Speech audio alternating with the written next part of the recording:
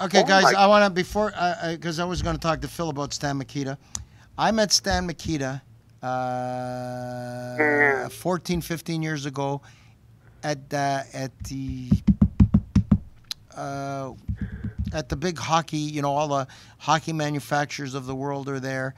Yeah. At um, the conven- Metro West Convention Center, Mhm. and I, I I think he was with Bauer. I, he was with one of the the big brands. He would be with Northland, Frank.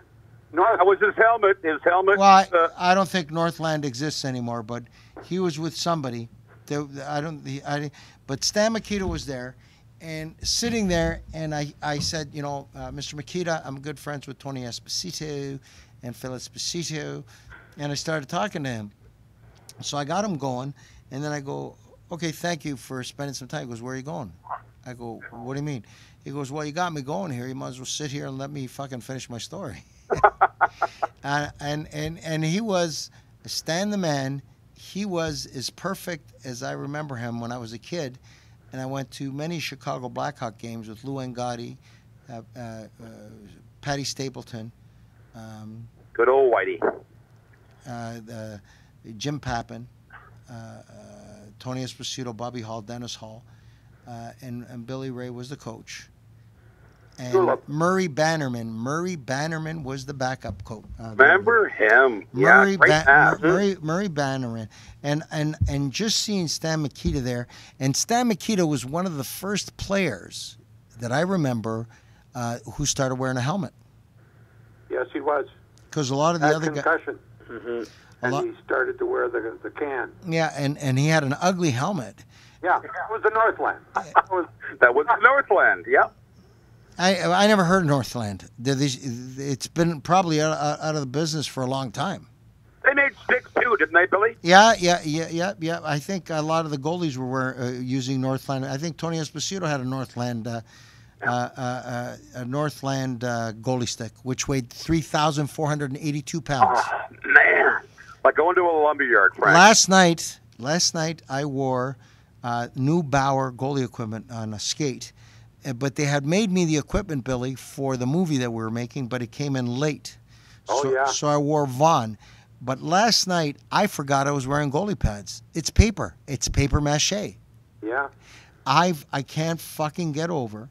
Uh, when I was a kid, I wore Winnwells stuffed with deer hair, and after the first period, they weighed a ton because they fucking soaked up the the, the ice, the water. Yeah. And uh, deer hair, what the fuck were they thinking? And they were made out of leather. Now, what I used to do is take Vaseline, uh, uh, uh, petroleum jelly, and wipe it all in front of the pads uh, to keep it at least a little bit waterproof.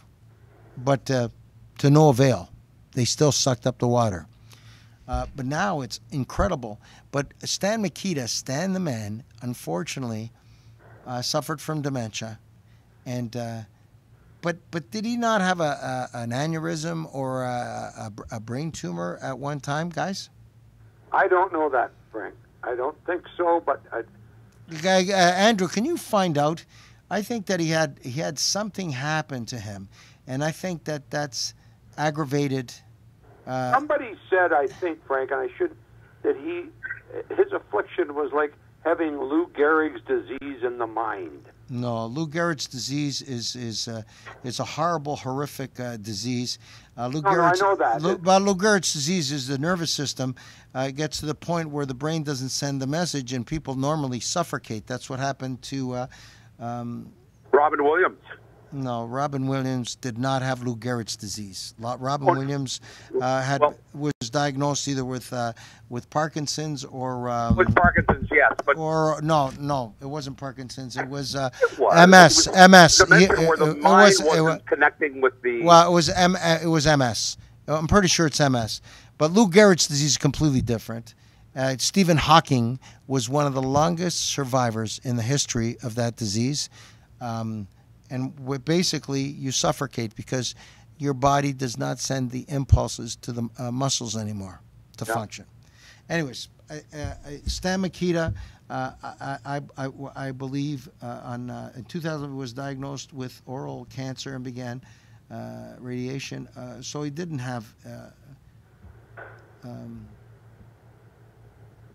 he had dementia.